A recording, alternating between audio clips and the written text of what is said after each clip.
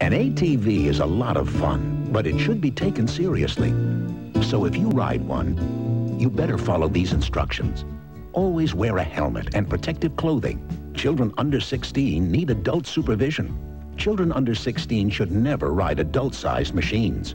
Inexperienced riders should take a qualified training course. Riding an ATV the wrong way could lead to serious or even fatal injury. If you're gonna play, play it safe.